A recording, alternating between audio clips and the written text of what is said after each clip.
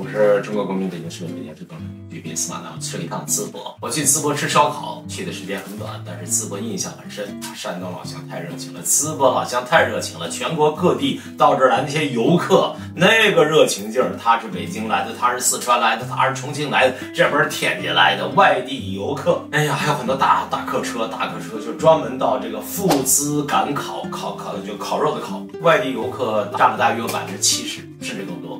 这个酒店呢，据说你不一定根本就订不上。我去寿光，然后去济南，中间不就是淄博吗？淄博呢，我就从那儿路过，我就去看一看。本以为五一高峰过了，结果到那一看，热度不减，进城就开始堵车，全是到那吃烧烤，嘴着热乎劲儿。现在还是这样。小火苗呼呼的往上烧，我第一站就扎到了八大局。淄博这个地方，什么教育局啊、财政局啊，什么什么什么局、什么局，职能部门扎堆的地方叫八大局。然后八大局搬走了，这地方变成一个市场。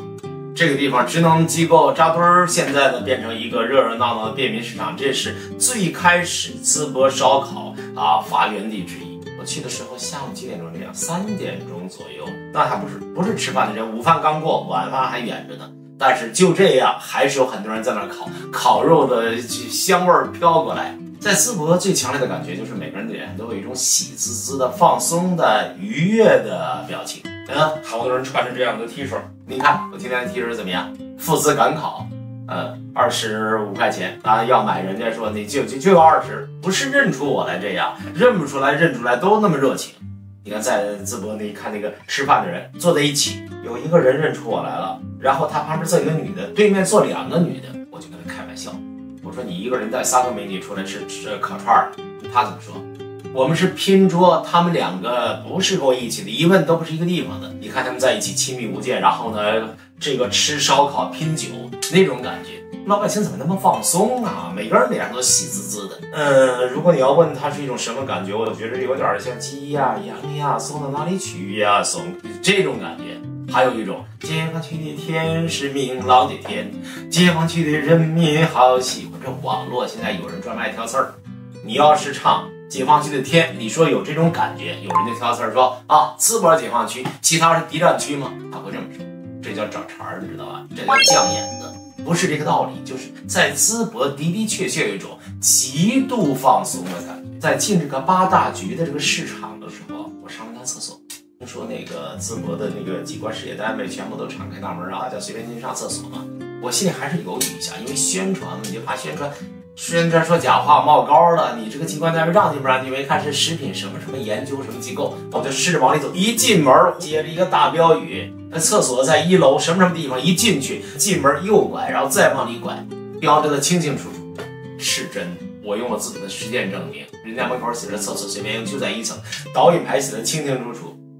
在淄博机关企事业单位的厕所，您是随便上的，而且呢，停车场也是随便停。光这两条，你想想，它这种什么感觉啊？后来呢，我们就来到了淄博市政府。我看那办公楼，一看是上个世纪八十年代的一个灰了吧唧的一个非常普通的楼啊。门口站的不是武警，门口站的是保安。你拍照他不管你，没人拦你，你知道吧？然后我站在那地方，我对着镜头这嘚啵嘚啵白活了一小段。旁边有一个小伙子看过来看我。概有个十来米远，有一个姑娘。后来我就跟她聊天我说你是来旅行结婚的吧？她说是。你怎么看出来的？我说那姑娘我一看是你女朋友吧？她说是。她说你怎么能看出来的？哎，我这么老了，我可敏感的，当然懂得量子纠缠呀。你别看这两个人呢，看着隔着很远的距离，嗯，可是呢，这两个人体态语言是一样的。注意啊，体态语言很重要。后来小伙子跟我合影，那姑娘还死活就不过来合影。新娘子嘛，羞答答的到淄博来旅游，这边是青岛，这边是济南，济南、青岛都不去，然后到淄博来旅游，到淄博吃烧烤。所以你说淄博这个现象啊，真是需要做从各个层面来解读。旅行结婚，人生第一大事啊，带着准新娘子到淄博来吃烤肉串儿，你说说这什么感觉？他们是安徽来的，那是这辈子肯定过得红红火火的，对吧？淄博是个地级市，知道吧？淄博这个办公大楼，你怎么看你都觉着跟全国这个级别的这个办公大楼比起来，确实是有点有点寒酸。寒酸的淄博市政府大楼成了一个现象，成了一个网红打卡地。一个政府办公大楼成为打卡地，到底在哪？老百姓到那之后，认为淄博烧烤能够火起来，和这个办公大楼这个破旧的劲儿，大的没拧着。办公大楼啊。上个世纪七十年代，简朴啊，媒体呢，其实在淄博烧烤之前就多次报道过，说你看淄博市发展了，现在呢，七十年代到现在多少年了？四十多年了，这个大楼呢还在用着，里边呢更加普通。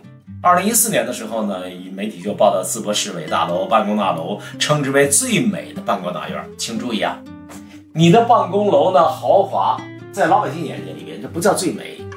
但是你的办公楼变成现在这么破旧的样子，老百姓说最美，因为你最简朴，所以呢认为最美。这个办公楼啊，叫烧烤这事儿火了以后，网络我们聚焦到这两座办公楼，说这是接地气的办公楼。当地市民说，过去这么多年了，你建了这么多高楼，没想到市委市政府的楼还在用着，我们的老百姓觉得挺亲切。有人在里边办过。他说啊，虽然破旧，但是看到这样的办公楼，不但亲切，而且自豪。我想跟各位说，改革开放了，咱们有钱了，对吧？然后呢，很多地方把办公楼改得很豪华，最亮的建筑是我们市政府大楼，可不可以？可以，好不好？好啊，没什么不好啊。但是老百姓住的不够好，或者一部分老百姓住的不够好。你这个城市里边还有学校的校舍不够好。或者一部分校舍不够好，办公楼豪华气派，可不可以在时间顺序上，在时间轴上往后挪一挪？你拖一拖有什么关系吗？有什么事儿啊？你办公不就人坐到里边敲着电脑，然后找人说说话吗？用得着那么豪华干嘛呀？你那么名贵的大理石干嘛呀？还有的地方办公楼门前的大广场，那大花坛。我去的有的地方，当然我不好意思提名字了啊。说这个广场，我告诉你，就比天安门广场小几米，因为不能超过了，所以 the biggest square in the world。我们这是比那个脚那么一丁点小，一丢丢。这东西好炫吗？有什么好炫的？你说你这么一个地级市，你把你的政府门前的花坛搞得这么大，这么漂亮，有什么用呢？有人说能产生 GDP，这个 GDP 和淄博烧烤那个 GDP，淄博烧烤所带来的社会的这种变化，哪个更好一些？老百姓说淄博看着更亲切更好一些。这个道理，您认为讲得通讲不通啊？淄博留下了深刻印象。先说这么多，下期我再接着给您。